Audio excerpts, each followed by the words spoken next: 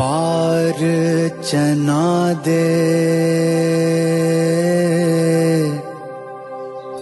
This कुल्लियार दी। घड़े आ। घड़े आ। आवे